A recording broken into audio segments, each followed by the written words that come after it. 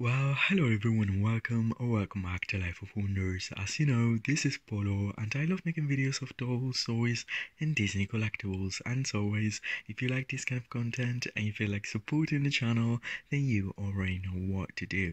So today we're going to do the full unboxing and detailed review of Frankie Stein from the very first Skulltimate Secrets collection. Um, now they are my last in line probably because I wasn't like too excited about the promotional pictures, but that actually can change once I, um, I don't know, I experience it all in person, and and that is something that it's been happening to me lately. So I'm very excited to share it with all of you.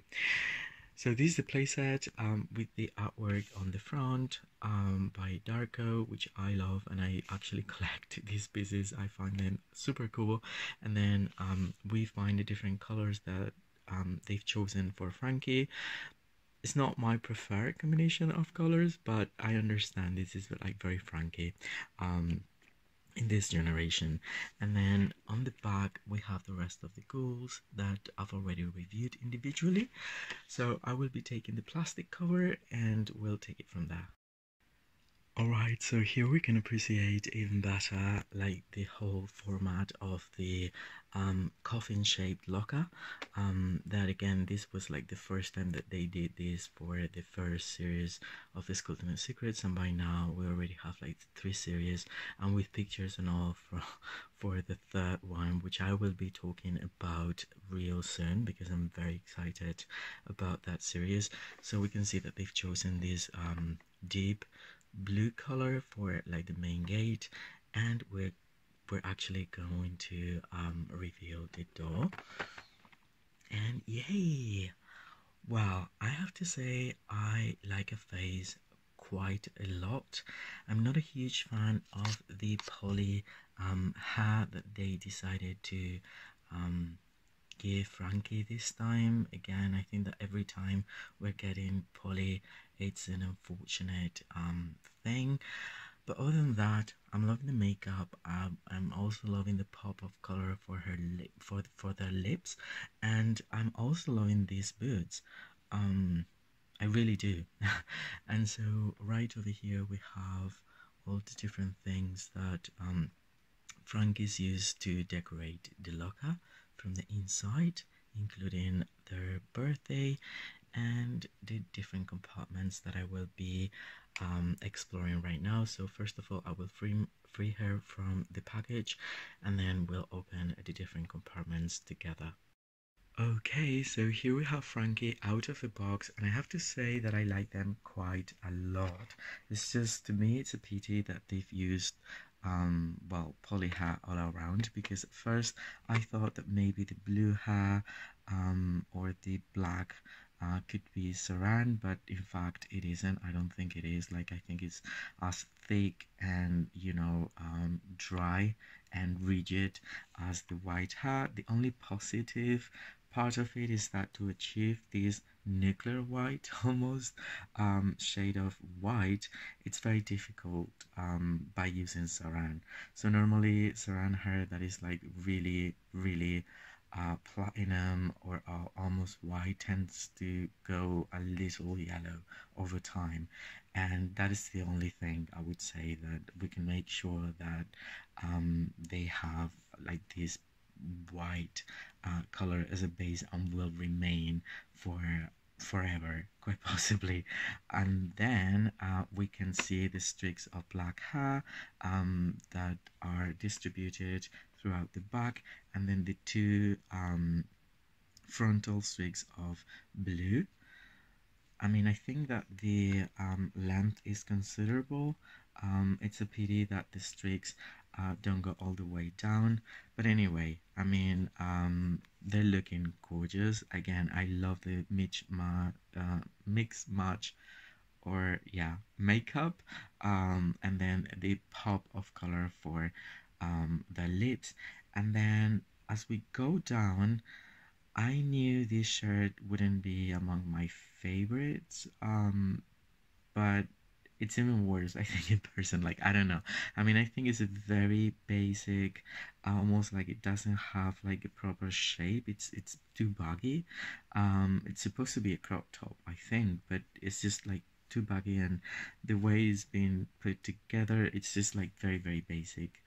Um i think that i might probably feel surprised by how well um frankie sports um these you know very intense color. By the way, I have to say that the, something good that I found about the hair as well. I hope you can see it. I mean, it's all white. It's definitely super white, and um, you can see it there. If I do that, but when it gets closer to, like for example, this uh, pink uh, shade piece of clothing, then it's it reflects that, and it creates the illusion that she's well that they've also having um, pink undertones or something but um, that isn't the case but you can see that how how is turning but I mean, it is not turning, and even though it would seem it is pink, it's extremely white. I don't know, that's fun.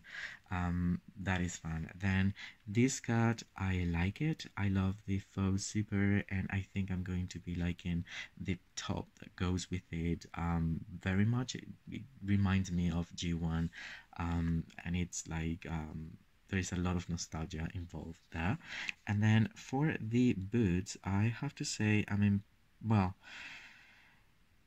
I mean, not really impressed, but I like what they've done um, here for Frankie, um, incorporating black and uh, fluorescent or, you know, deep magenta and fluorescent yellow um, with the, you know, um, lightning um, and then on the other one there's only just one and then on this one is like a multi logo uh, sort of thing and um, they're supposed to be like Cinderella sort of like boots. Um, but I don't like that for the prosthetic leg uh, we don't get anything else like anything written or and and I I, I get if they're giving us like uh, translucent leg like they did for the Skulltimate Secrets Series 2 or they're going to, to do for the Skulltimate Secrets uh, Series 3 but then for this one not having like anything um I don't know a bit too basic in my opinion. Then here have the cutouts. I always um get these because it's funny and I can use it in well I do have like a toy shop like a miniature in which I put my mini uh brands and then I I do have like a playset from the 90s that I will be showcasing uh, sometime in the future.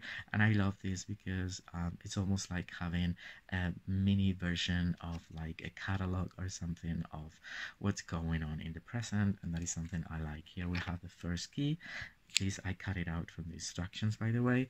And you know uh, the drill about the keys which I'm not going to uh, follow. I wanted to also um, show you the inside of it. So we have like this uh, mad scientist lab I guess in which Frankie can create um, their accessories and then again um, what I already shared with you at the beginning. And now we start um, we're starting to get um, the different bags out of the compartments. So this time around um, the pattern includes the heart with stitches and a lightning um, bolt um, and then the question mark with the skelet and it's blue and I actually like it quite a lot these bags you can reuse them just fit little things um, as like little presents for I don't know your friends or your nieces or nephews or whatever your little um, ones. Um, and here we have the second one. Now the third one I'm a little bit nervous actually because again like I didn't like the overall um, aesthetic um, from the promo but I really hope it feels different. So we already have like three and here uh, we're getting the final one.